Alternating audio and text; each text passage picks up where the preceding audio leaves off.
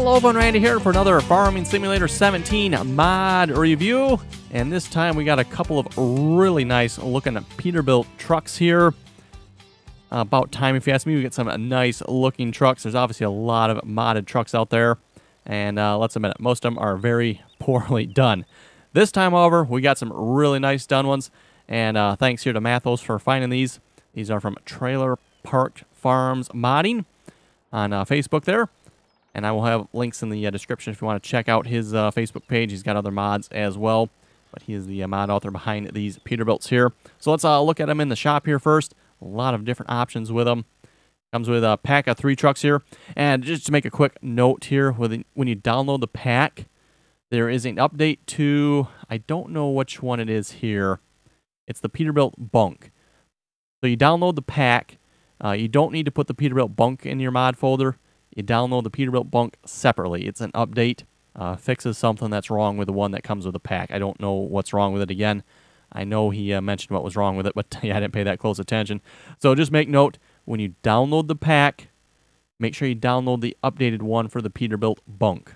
There's a separate download, and it just it's for just that truck. And like I said, I'm not sure which one it is here now looking at it. But we got a Peterbilt 377, Peterbilt 389, and a Peterbilt another Peterbilt 389. I know a lot of folks are always asking about the. Let's see what's here. Where is it? Yes, the uh, Peterbilt 379s I was always using. These are unfortunately private, and yeah, I forgot about that when I started using those.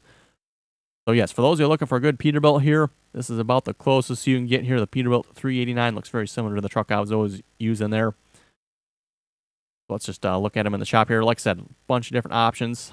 Uh, 485 horsepower, all the way up to 600 horsepower on this one. Um, I don't know what the design color does on this truck. I'm not really sure. That is the blue one here. I've got the design color set on white, so I don't really know what what that uh, changed. And then the Peterbilt 389 here without the uh, sleeper cab. I got option between straight stacks and curved stacks. Uh, again, engine options, same as the last truck. Main color, uh, you can put a bumper or a bull bar. I think the one I have now is set to a bull bar. Yeah, that's this uh, truck here. So that one's got the bull bar on it. And the design color, I've got both set to red. The design color, at least on this truck and the next truck, changes the front fender color. And then small visor or large visor. Personally, I kind of like the small visor. The, the large visor just doesn't look right in my opinion. Or big visor. Uh, attachers, 1 through 4. I don't really know what that actually does. What that changes. Not really sure on that one. Engine setup, 485 through 600 again. Uh, main color. And here again, the design color sets the front fender color. In this case, I've got mine set to yellow. And this one, I think I have the large visor on it. Yes, I got the large visor on this one. And like I said, you can see front fender there over the tires is yellow. So like I said again, very nice looking uh, truck pack here from Trailer Park Farms. Uh, nice looking Peterbilt truck pack. Uh, interior looks really good as well if we get in the inside of the truck here. Like I said, very nicely done interior. Even uh, looking back in the sleeper portion there, looks uh, very nicely done.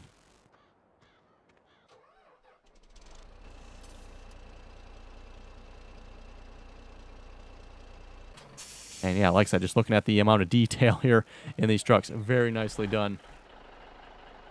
Of course, uh, no sleeper cab on this one. Anyway, let's uh, just take one of them for a spin here. Uh, seems like they drive really well. I know that's another common problem with the trucks here in the farming simulator. Like I said, it seems like there's a lot of very, very poorly done trucks in the game here. And it seems like it goes one of two ways. You either get a truck that looks nice, like these look nice, and then they drive like absolute crap.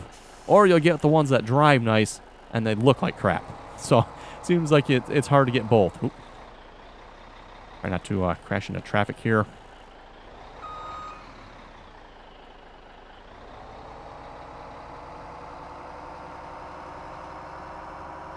Uh, definitely not the fastest of trucks. I do have the 600 horse engine in here.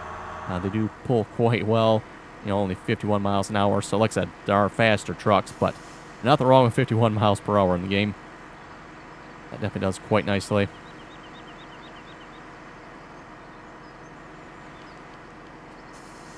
And a nice amount of light on them as well. You can see even the marker lights light up on the road there. That's pretty cool.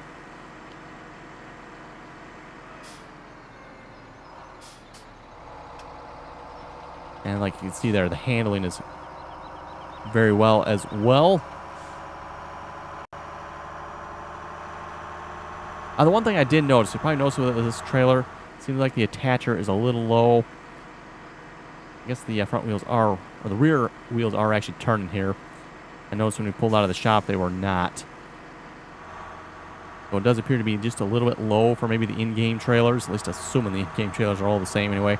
At least low for this Krampe trailer. Put it that way. So that might be one thing, maybe just to uh, make a note of there. But other than that, looks like some really nicely done trucks here. So for those of you looking for some really good looking Peterbilts, definitely suggest you check out these. Again, I will have mod links in the uh, description below for them. And again, keep in mind, make sure you update the one Peterbilt that is part of the pack. Uh, you just download that one separately and uh, replace that one in the pack. Like I said, it comes with a pack of tr three trucks here. And in fact, if you just want to install the one truck, you can do that as well. You don't have to install all three. I know personally, I kind of like the look of this truck myself. Just the uh, no sleeper cab on the back.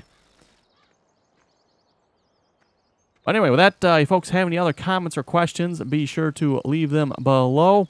And as always, thanks for watching and until next time.